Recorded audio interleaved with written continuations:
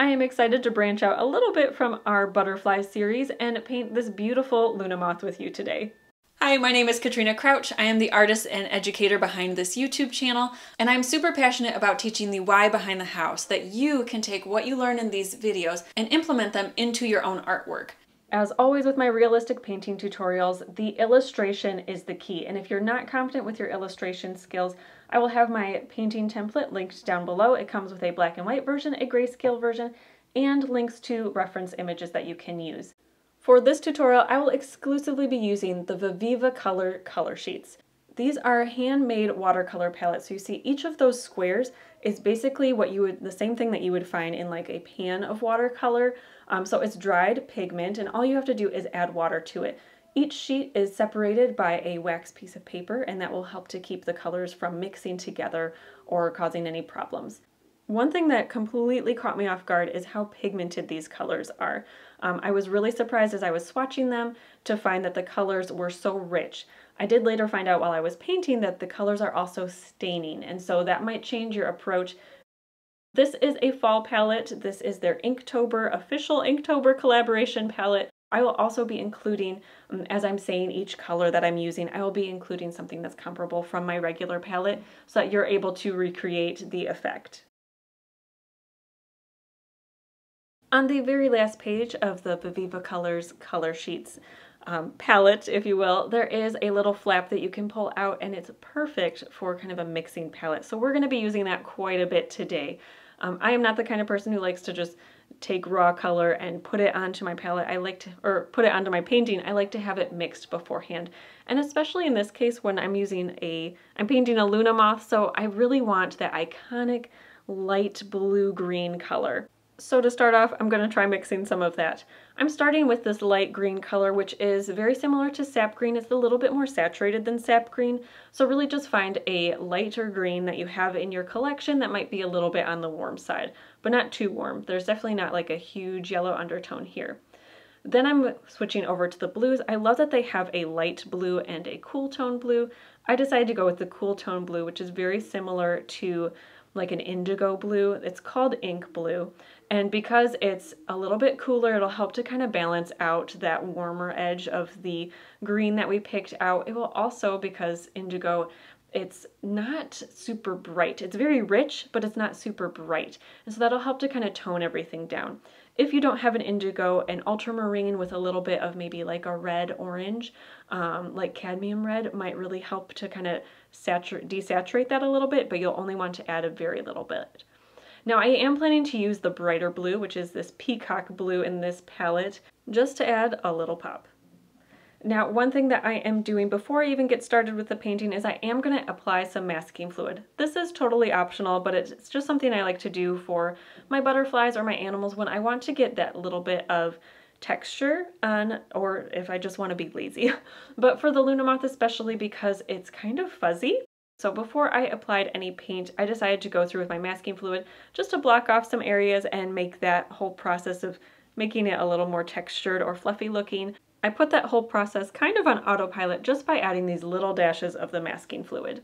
Now that our canvas is officially ready to go, I'm going to go in with my first pass, which will just be a gentle wash of color.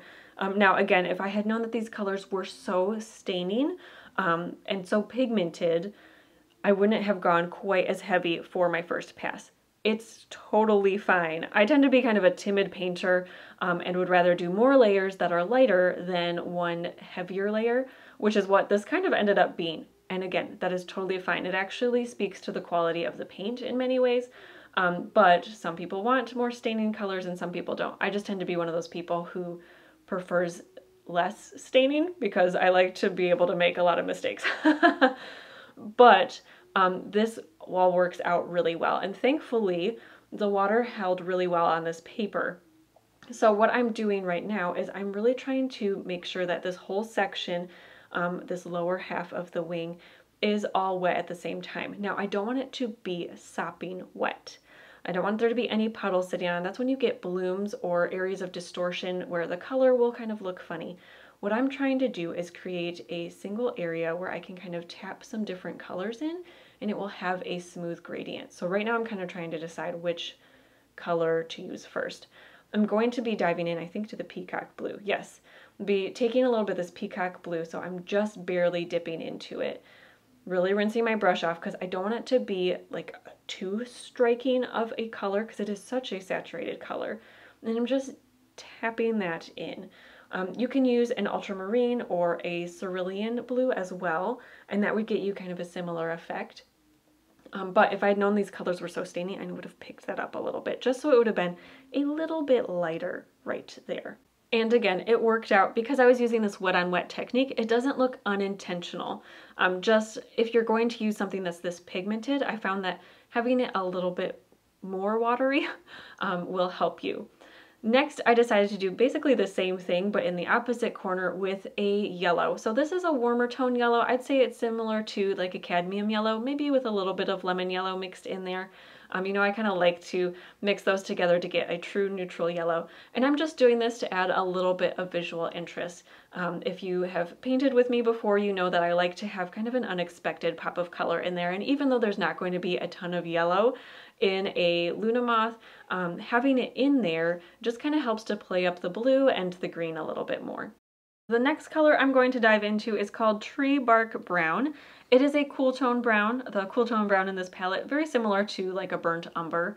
Um, and I'm going to be very lightly adding that to the section that is still wet, thankfully, um, just to kind of get a little bit of definition. I'll be using this throughout the entire process. Um, right now I'm mixing it with a little bit of that happy yellow, our um, yellow tone, just to kind of try and lighten it, um, I did kind of decide to warm it up a little bit, but I didn't want the warmer brown. I don't know what I was doing, but it's just kind of how my brain works, where sometimes I think I don't want one color and I end up basically mixing it anyway. Um, I loved adding it to kind of the edge of the Luna Moth wings. Um, there's a lot of definition and just this little bit of brown on the very tips of their wings. Um, and I did not want this to get too dark, so I was working, see I'm like barely picking up any pigment there. I'm working very gently. This is around when I started to realize that the paper was being stained. I wasn't able to pick it up. So in order to kind of avoid some mistakes, I wanted to go very lightly. I added a little bit of a pop right where kind of that ruffle on the, what is that called? The tail of the wing. Um, and just to kind of put that a little bit in shadow. It doesn't necessarily do that in real life, but it creates kind of this whimsical, flowy effect. Now you might get a little bit bored with this process. We're going to basically do the exact same thing we did on the lower half, except it'll be on the top half. So I am just carefully wetting the entire space that we're going to be working with. This is one way that you can kind of avoid those hard edges, and again, avoiding the blooms. I don't want this to be sopping wet. Depending on your paper type, you might want to work in smaller sections, but I found that with this paper, I can work in a slightly larger section like this, and the paper will still remain wet. So you can see how there's that shininess, that little bit of a glisten on there. Again, it's not a puddle. You want to avoid the puddles, um, but it does uh, hold the water pretty well. Now here I am dabbing up a little bit of water um, that went onto the eye of the wing, so that little detail section.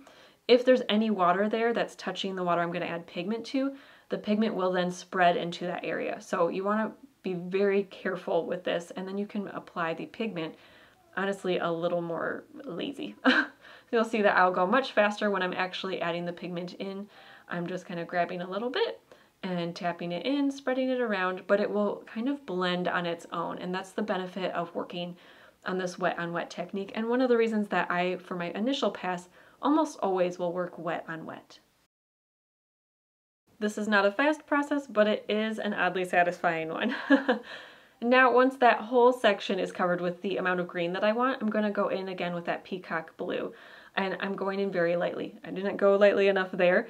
Um, but if I were to do it again, um, I would probably mix a little bit of that peacock blue in with the original green just to take the edge off of that saturation.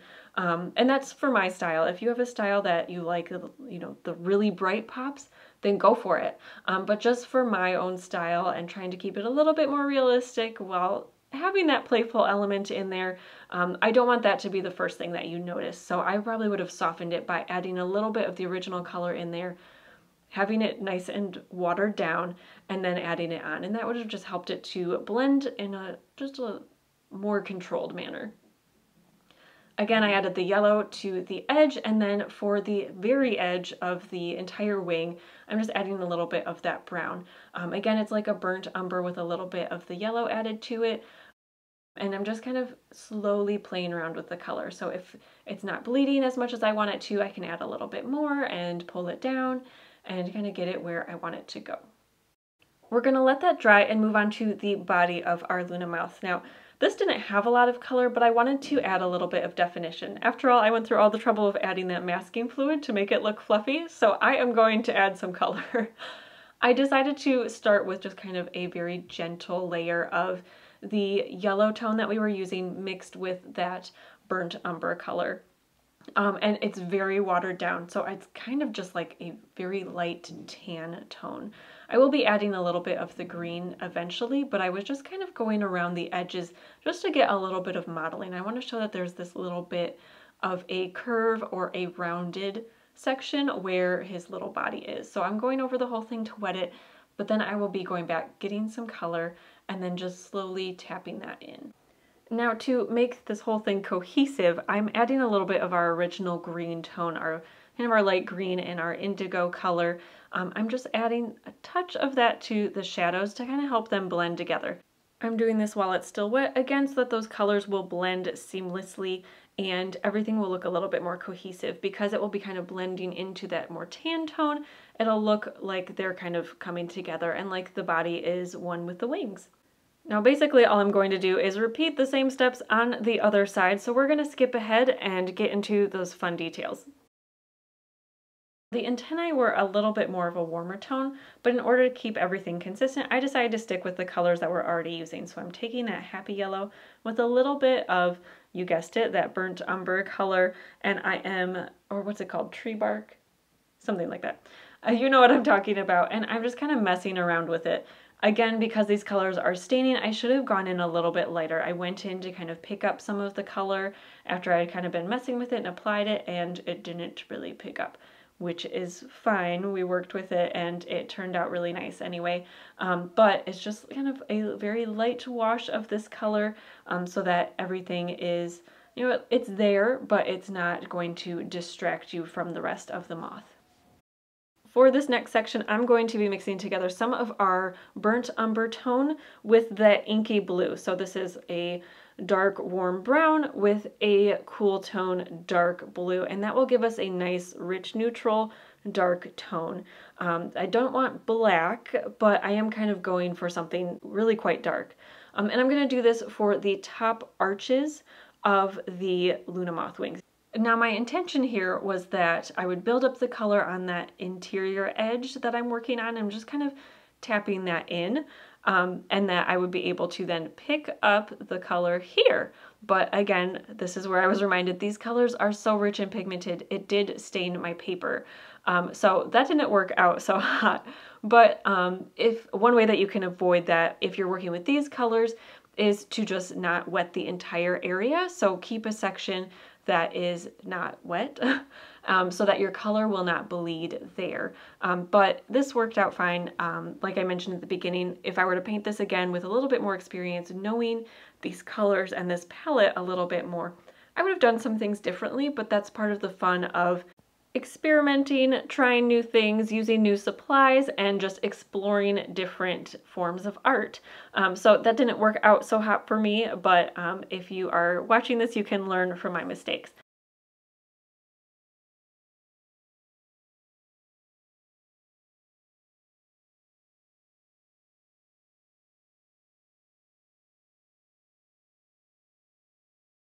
Am just very carefully following the contour of the wings and just filling it all in. So there was a mistake. We're going to make it look intentional by continuing it through the whole piece.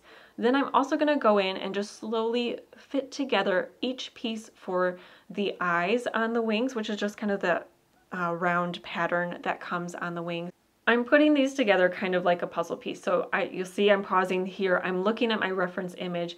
I'm counting, you know, like which, how many different sections away these darker sections are. And then I'm going to go in and I'm going to paint them as closely modeling the reference image as possible. So I'm just going through And okay, this outer section is the same as that nice dark brown. If I go down to this bottom one, this top section is that dark brown, or at least very similar to it, and so I might as well use what's already on my brush. For this lighter brown section of the eyes, I'm going with a very light wash of that brown that I'm using because I do want to kind of desaturate a little bit my next color. I'm going to be going in with this fire tone and it is a beautiful metallic orange. You can see that shimmer there and it has just a really fun quality to it. So I do want to include that in this painting. I think it's one of the standout pigments of this palette and so why not play it up and have a little bit of fun here. Um, any metallic paint could work. Um, it's I would say it's just a rich um, cadmium orange tone um, with that little bit of shimmer. So if you just have a shimmer color, you could add to it or you can leave that out, feel free. Um, and I'm just adding this to the eyes. I am making it more pigmented and more saturated than it appears in real life, but that's kind of the fun part of art is that you're able to kind of exaggerate things that you want to play up and enjoy, just kind of like the brighter blue that I added in, which isn't necessarily super accurate, but is a really playful way to um, celebrate what's already found in nature. I also added a light wash of that color to the lower set of eyes on the lower wings. Um, not as saturated as on the top wings, um, but I did want it to look cohesive. So there were, were sections of it that were a little bit brighter um, or had a little bit more pigmentation. Um, so that kind of pulls everything together nicely. Now to add those final finishing touches, I'm just going through with our brown tone and I'm just going around the edge. So this is very slowly done and just very carefully. I'm just kind of defining different areas. I have, if you purchase the reference image, I have some of the veining and definition in there. And so I'm doing a little bit of it with this brown tone and just kind of, again, really adding in some definition where I feel like, oh, this needs to pop a little bit more or this needs a little bit more of a boost. I'm doing that first with the brown and then I will go in with the peacock blue and start to define the veins. And I'm just going over this with, again, a very, very light wash. This is a very pigmented color and so I want to make sure that it is still very subtle. I don't want it to kind of smack you in the face, but I want to show some of the definition in the wings. Now, if you think I had forgotten the masking fluid, you'd be right. I had, so I had to come back later after the paint had dried. I'm just taking a regular eraser and I'm gently running over the masking fluid. That will help it to come off uh, pretty seamlessly and just very gently without disrupting the paint. Um, you can do this with an eraser, you can do it by hand, but I do find that the eraser is much faster. To soften the edges left over by the masking fluid, I'm going to take this small detail brush. It's a size 3 Princeton Heritage watercolor brush, and without adding any pigment to it, this is just a slightly damp brush, I'm going to go over the edges, and again, that's just to soften it. It will reactivate some of the paint that is already on the paper. Um, I am using dirty water, so it is there's a slight green tint to it, which is working to my advantage and that will just help to kind of smooth the edges out so that they're not so harsh. Um, masking fluid is a great tool, but it does have its faults, and I find that you know the harsh irregularity of the lines is the biggest one, at least in my opinion, and with the work that I do. And so I'm just going to go over every single line and soften it a little bit. If I'm switching from something that's a little bit more green to a little bit more brown, then I'm going to clean off my brush. If I feel like I'm picking up too much pigment, I'm going to clean off my brush and again, not working with anything particular, just a little bit of water on that brush and that will kind of help to reactivate the pigment that's already on the paper and just soften everything a little bit. And that is our completed Luna Moth. I hope that you enjoyed this process and the result as much as I did. Big thank you to Viviva Colors for sending me the color sheets to play around with. This is my official entry for Inktober 2021, the moon prompt for the 18th. So I'm posting this tutorial a little early in case you wanted to do it along with me. If you enjoyed this tutorial, please let me know by giving me a thumbs up and subscribing and letting me know in the comment section what you would like to paint next, specifically butterfly or moth. I have a couple ideas, but I want to hear what you guys are thinking. And until next time, happy painting!